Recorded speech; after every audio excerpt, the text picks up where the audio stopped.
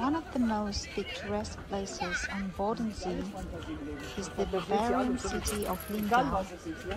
Situated on an island, we find an accumulation of medieval houses, as well as a port of yacht and small cruises.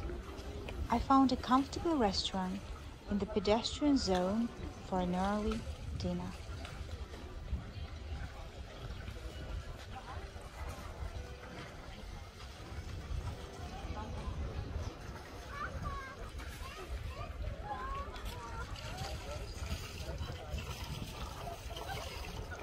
Так.